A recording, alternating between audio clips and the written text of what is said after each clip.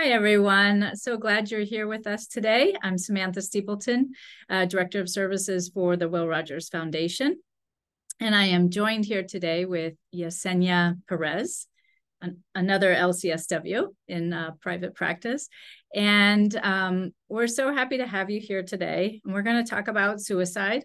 That was the topic of the month because it's it's Suicide Awareness Month. We want to talk about it and um, I was thinking today the three goals. We'll just have like we're we'll kind of get a conversation going, but we'll just do the three goals are to create some hope and provide hope for people, um, to normalize the conversation, and then maybe even if we get it, you know, just about reducing some of the shame around yeah. suicidality and and talking about it because I think that's one of the big issues that I hear is that people are embarrassed about how they feel.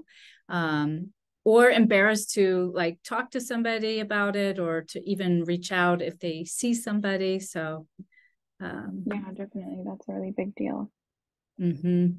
yeah so we'll just we'll just go from there and see see where it takes us sounds great yeah i'm happy okay. to be here yeah. we'll jump in then yeah yeah let's jump in well i mean the whole thing I think is really important uh, for people to hear. I think we get overwhelmed, whether ourselves, like if we ourselves are feeling uh, suicide or having suicidal ideation, or maybe we're working with somebody or a family member's having it, there's this feeling of overwhelm, which can lead to feelings of there's nothing I can do or a, a sense of like collapse. Um, yeah, yeah.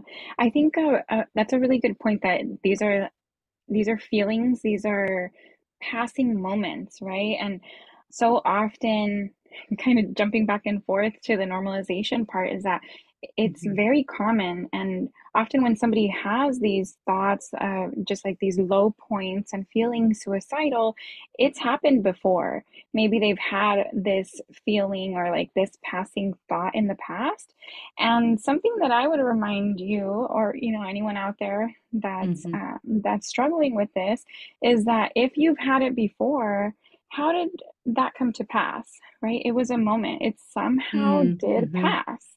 Right. and like what what happened? What did you do in order to get past that moment?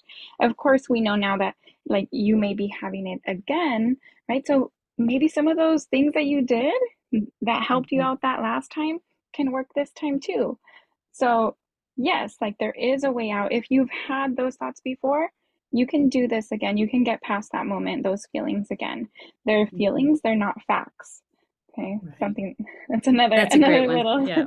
another little tip or trick that we like to do. These yeah. this is just a feeling. It's not a fact. Doesn't mm-hmm. mean that it's true. Mm-hmm. I think that's a really good reminder because I think a lot of times we we attach to our thoughts and then um, we can go into those kind of those downward spirals where you just start to feel worse and worse because you're following the thoughts.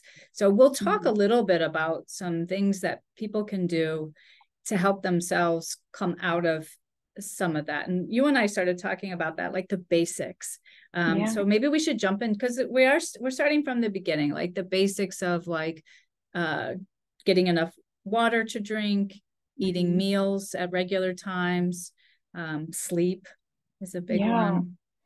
Uh, like it's it's such a mm-hmm. it's such a big deal right? When but it's also such a basic need that we some sometimes overlook it right? That mm-hmm. are have we been getting any kind of movement right? There so the, the basics you started to name them.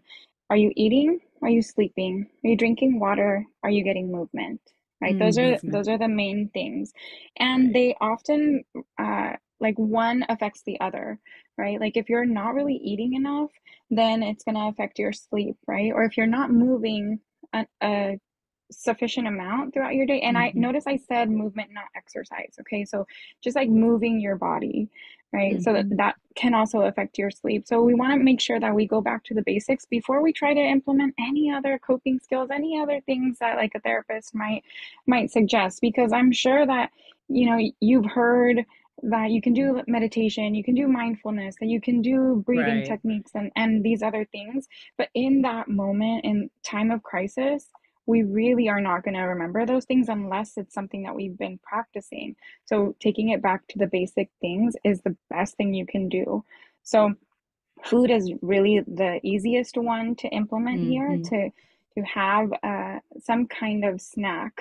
And what I do, even just on a normal everyday basis is I always carry a snack with me because you never know, right? Like you mm-hmm. never know. You might get caught up at work and you didn't have a chance to go have lunch like you had planned or whatever it is. So I carry a little protein bar with me at all times and just just because just because i might have been caught up right or there might have been traffic on on my way to dinner or there might you know whatever there's always mm-hmm. something that mm-hmm. can come up so definitely yeah. carrying something around um, protein bars not necessarily the ones that are meant for like bodybuilders or things like that right but uh, but just like a a little bar that has something mm-hmm. that will sustain you and yeah. then the other part is um, incorporating when if and when you are feeling uh, suicidal or down or just like in a negative thought spiral incorporating a little bit of fruit juice so getting yourself a little pack of fruit juices like the kids juices right just a little bit nothing that's going to completely fill you up but just something to get your blood sugar back to a normal mm-hmm. level uh, because it's very likely that your blood sugar has dropped and we want to send a signal to your brain telling it that you're okay and mm-hmm. sugar will do that so yeah, yeah those are and a little protein.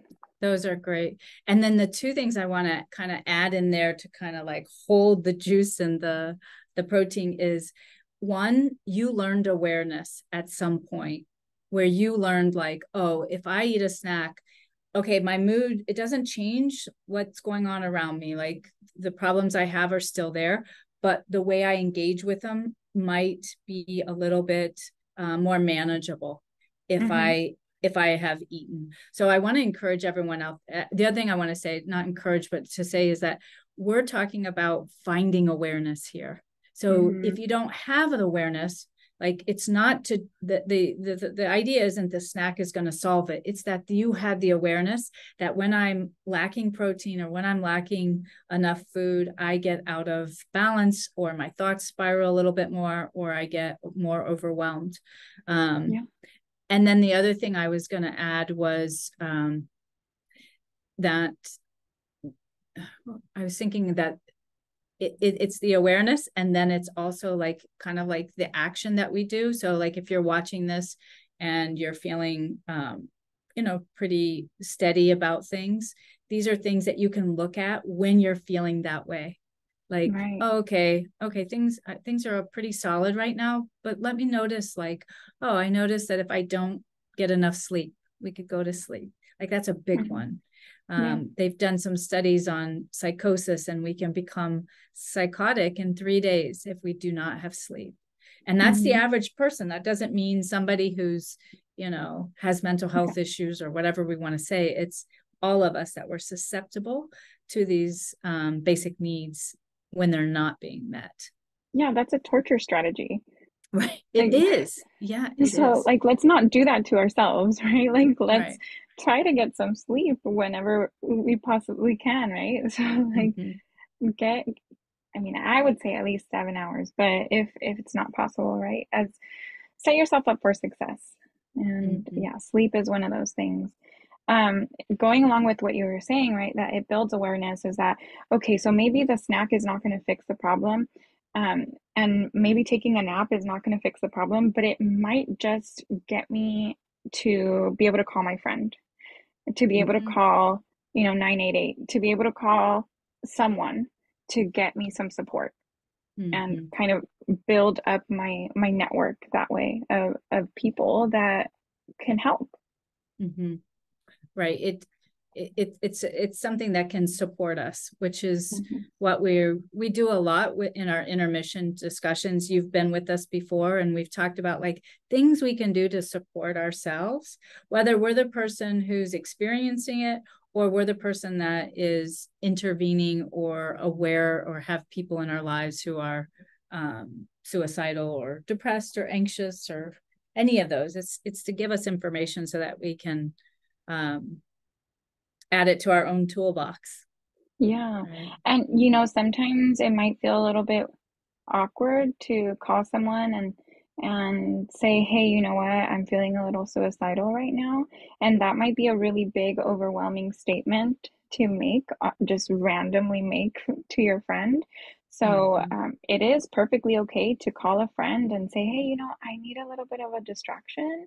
You know, like, what have you been up to today? Can you tell me something about what's going on in your life? So you don't necessarily even have to talk about uh, feeling suicidal in that moment, uh, Mm-hmm. but changing kind of the the tone of of what's going on for you that day can be helpful. And then also keeping that person in mind if you feel comfortable calling a friend then when you are feeling okay or maybe right now right after this you can take a moment to tell your friend hey you know i sometimes have these thoughts. Is it okay if I have you on, you know, we don't have speed dial anymore, but if I have you on Mm-hmm. speed dial and Mm-hmm. um, and give you a call the next time I'm feeling this way, not so that they can fix things, but that so that you can tell them like, hey, these are some of the things that do help me. Can you remind me if I call Mm-hmm. you and I'm feeling this way? Can you remind me to go have a snack? Can you Mm-hmm. remind me to, you know, whatever, like your list of of different things, and that may be just enough to get Mm-hmm. you feeling okay, right? To Mm-hmm. get you to feel okay to leave the house and, and you know, go get some additional support from a, a professional, right? A therapist or someone else. So Mm-hmm. that can be the biggest support. It's just having a friend or family member or someone that can say, Hey, did you do X, Y, or Z already? Like just checking, right? Mm-hmm. And that may be helpful. Mm-hmm. Yeah, it, it reminded me when you were saying that too about like we're probably doing some of these tactics. Like at the beginning, you had asked like what worked in the past, and distraction is one. It's a temporary fix, Mhm. right? I mean, if there's if you if you are having suicidal thoughts, there is help available, and we want to keep saying that. And um, we'll put some resources in the notes where you can where you can call. Um, but that there's things that we do because we you know a lot of a lot of people out there have survived a lot of different things in their lives a lot of difficult times so there were times where they knew like oh i i'm gonna watch a movie or i'm gonna do this other thing and distract myself um And yeah, that's an amazing tool, right? The the movie or like a show, having your go-tos where you know, you know, like I'll rewatch an episode or two of Friends when I just want to, you know, distract myself for the day. And I I know I don't have to think about it because I know mm-hmm, what's going to happen. It's nothing mm-hmm, that's going to surprise me. So, you know, finding some of these tools that are helpful for you and and um, can make you feel a little bit better, even if you've just had mm-hmm, a long day, right? So even if you're not mm-hmm, having suicidal thoughts, it, it can be helpful to apply mm-hmm. some of these tools. But yeah, yeah definitely, it is more common than than we think that people have these thoughts. Right So right like it's it can be uh, very helpful just for everybody, even you know if you're not a therapist, everyone to kind of mm-hmm, know some ideas, right? If somebody mm-hmm, tells you that they're feeling really down right now, they're feeling really sad, just to come up with some things to do in the meantime while we get you some additional support. You know, so mm-hmm. I do want to reiterate that um, I'm encouraging people to call a friend or call a family member. And, But if you are that friend or family member or coworker or, or you know Mm-hmm. someone that they know, it is not your job to be their therapist.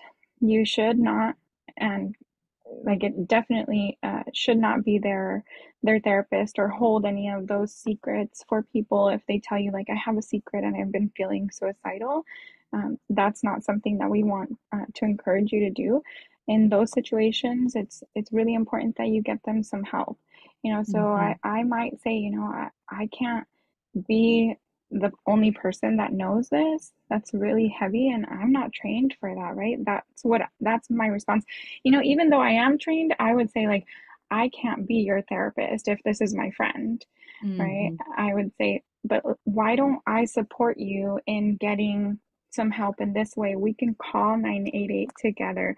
We can you know we can do these things. I can drive you somewhere and these are the ways that i can support you. I can be that person that you call and i'll give mm-hmm. you a reminder of the things that that you can you know your checklist of things that feel good to you. So Mm-hmm. it's it's really important to make sure that you're not becoming their only resource, their only tool, only you know uh, person out there. Right, and I think I think you're going to go you're going into that normalization too of like of being able to say, "Oh, this is too much for me, but I want to get you help, and I want to. I'm here together to, you know, get on the phone with you, or, you know, drive you somewhere if you need to go somewhere." So I think that's a. Um, I think the more we talk about it, the more we we recognize like these are thoughts that a lot of people are having that they've you know research has shown it's it's it's it's more normal than than we knew. I think before there was so much shame around it that was like almost like this othering that would happen of like, oh, there there's a suicidal group over there, and now we're understanding that um, they're all among us, they're with us, they're friends, they're families, they're colleagues, um, and that um, one of the things I thought of was that idea of like the brain having a back door or an escape route or exit sign, I've heard it called, meaning if you are getting overwhelmed, let's say you're having a really difficult time at work and maybe things at home are really tricky as well, that the mm-hmm. brain will start to think of ways out. And that is yeah. one of the signs uh, to look for. And I think if we start looking at things as signs and clues, we're a little better off because we're not like then thinking, oh, there's something so terribly wrong around, about me. It's more of, oh, there's something's going on. There might be yeah. something here for me to notice or to get help or support around. Um, do you want to say anything, yeah. like add anything there? Because I just, I think that's so important that backdoor um, yeah, looking at it from a little bit of a third party perspective, trying not to mm-hmm. judge your own thoughts. You know, we we might jump to certain conclusions at different times and I mean, the world is going to judge us, but why do we have to judge ourselves, right? We're our own worst mm-hmm. critics at, at mm-hmm. oftentimes. So just being able to step back and say, "Oh, okay, I'm having these thoughts. They happen mm-hmm. and mm-hmm. and that's okay. It's okay that they they do happen." Now let me do something about it. Mm-hmm. right. Yeah and so again right here would be a place where if if that's happening to somebody that's listening or happening to somebody that you know you can call 988 anytime and really just have a conversation with them. You can just say i, I want to gather some information or i'm i'm feeling this way i'm not sure what to do. Uh, there's trained professionals that are available to us uh, 24 7 um, yeah. So we really and don't have to stay in it alone. Yeah, mm-hmm. and they're not gonna just jump to, oh, we're gonna call 911. First of all, they don't if right. they don't have your information, then what would that do, right? So it's really just somebody to talk to. Um, mm-hmm. So that's a phone call. I know you can also text 741 741. Okay.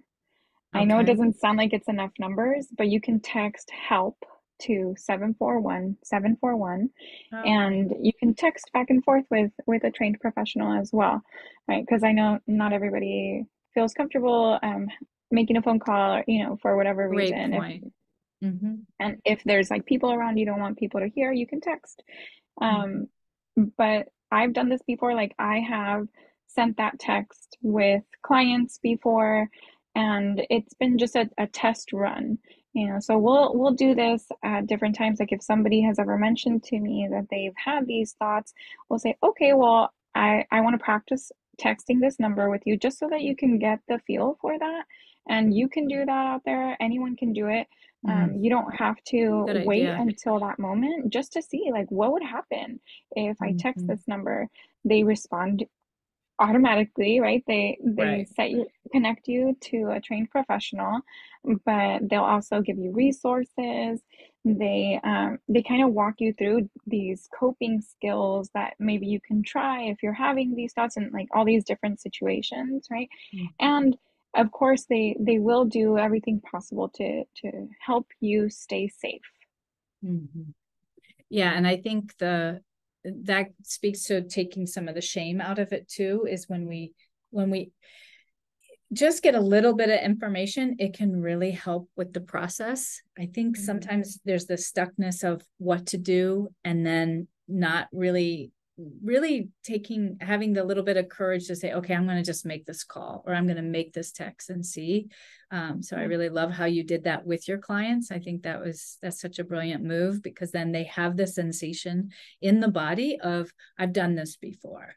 Because sometimes that's it too you know we, we spend so much time in our heads we're not enough in the body and i think when we have those experiences of safety and of like okay here i am there's somebody with me i'm going to text this number, see how that feels.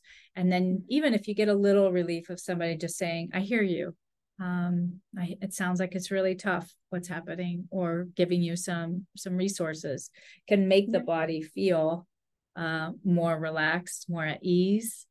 Um, and then yeah. we can we can call on that again. We can say, oh yeah, okay, I've already done this. I can I can do it again. Yeah. Um, yeah, and I mean that's something that anyone can do, right? As a coworker, as mm-hmm. a friend, you can also text that number and say, "Hey, you know, I don't really know what to do. My friend or coworker is saying these things." And in an ideal situation, that person that has those feelings would be texting or would be making the call. So I would encourage them to do it first. But if they can't and, and are in a position where they they just don't feel up to doing that, then you can also send the text you know it's mm-hmm. it's free so i can say in that text message like this is what's happening uh, what can i do and then they can give you the resources too and you can point your friend in the right direction so mm-hmm. oh that's a that's a great that's a really good uh, reminder um yeah so then speaking of like going to the friends and going to like the colleagues if we're we have somebody we're working with i just want to remind people too that listening is really helpful. Like that is mm-hmm. really a big part of it. Like even if you're able to say to somebody, I see you're upset and be able to listen to what they say. Um, mm-hmm. again, going to Yesenia, you had made such a good point. Like you're not somebody's therapist, so we encourage everyone to take care of themselves. Um, and also, if you can listen, if you start to feel overwhelmed, just notice, like, oh, I'm getting overwhelmed that this person has so much going on and you know you can use that to direct you of whether or not okay now might be a good time for us to call so for some support. But just really mm-hmm. listening just knowing that listening matters and makes a difference to people. Yeah not jumping to say things like oh but you have so much to live for. You know those are common things that we might hear and they're not really comforting. So let's just listen and maybe validate right and validate what that person is feeling. I don't know what you're feeling. I don't think anyone knows what anyone is feeling, right? Even right. if I tell you, you don't really know what I'm feeling.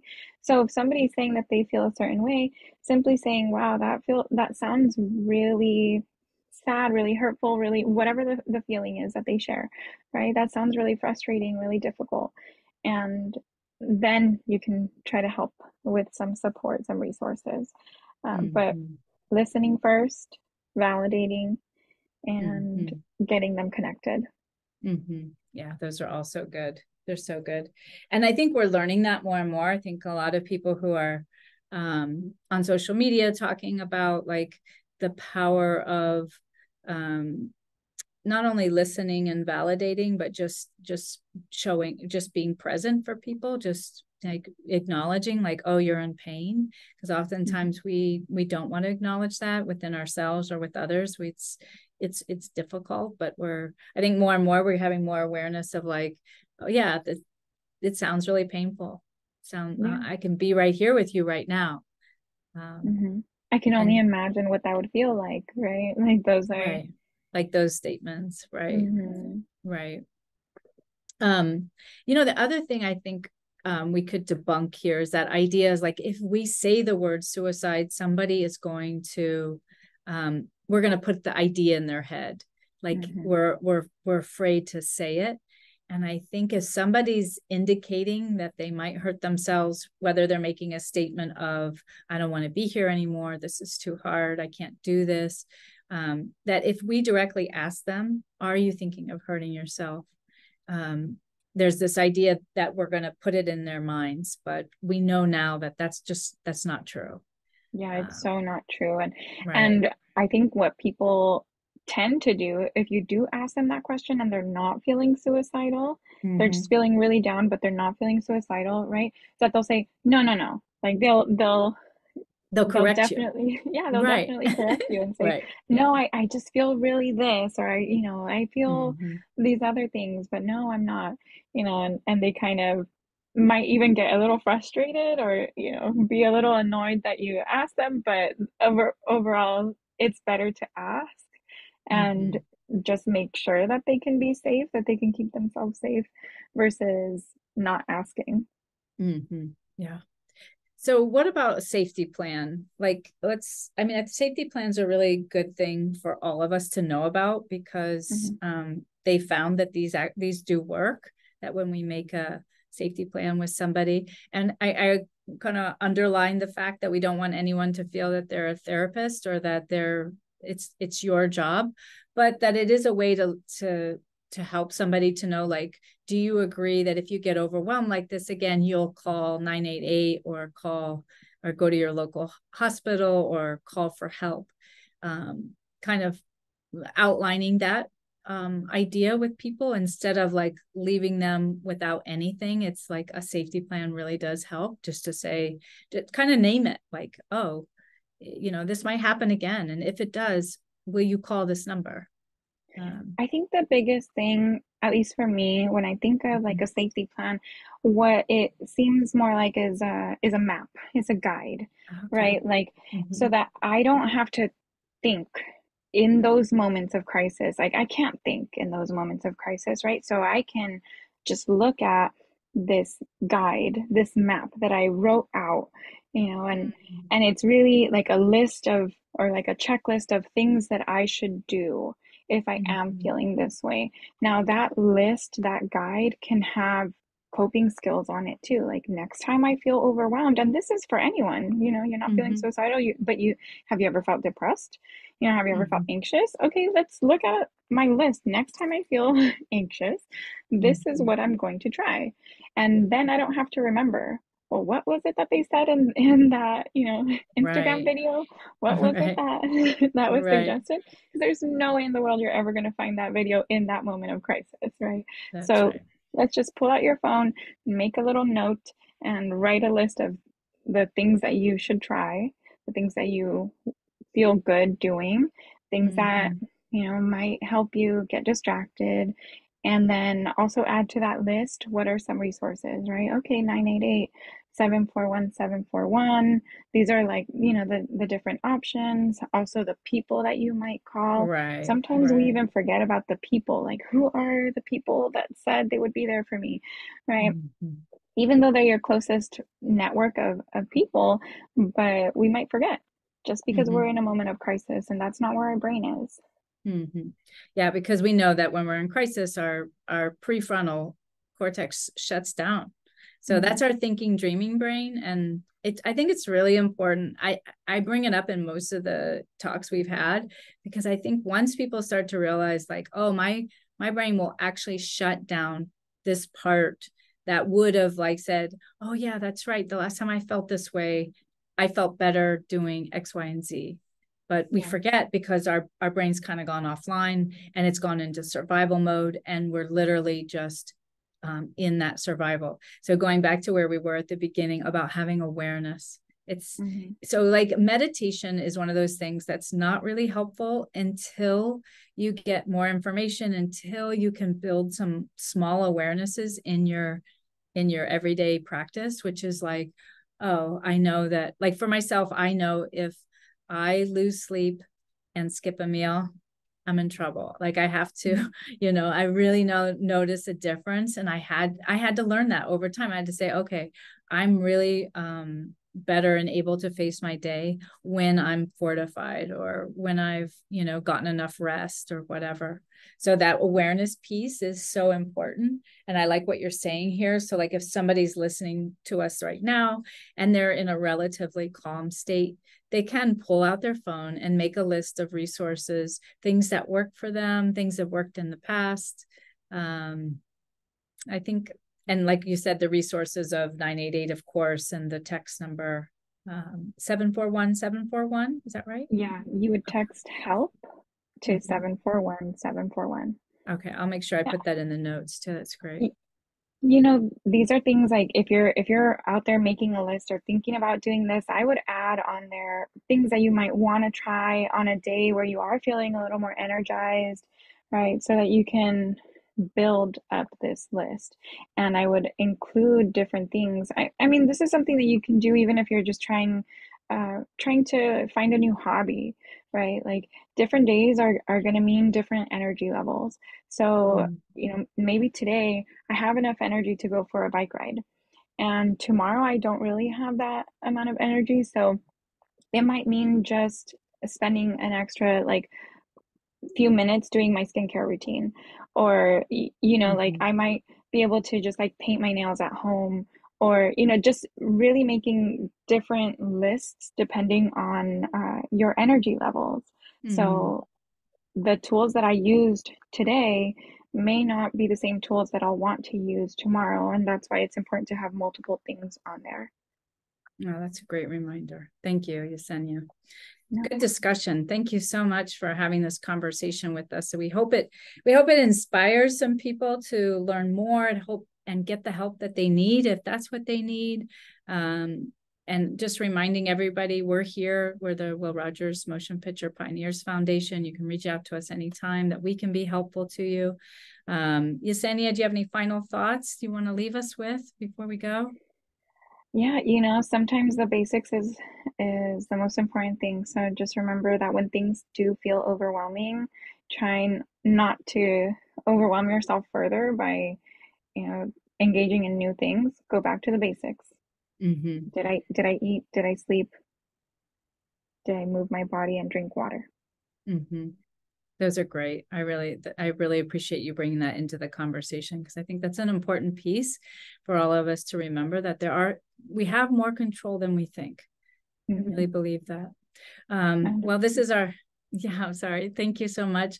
Um, yeah, so this is our Innermission program. We're so happy you joined us here and we hope to see you again soon. And thanks again, Yesenia. We look forward to talking to you again. Happy to be here. Thank you. Okay. Bye for now.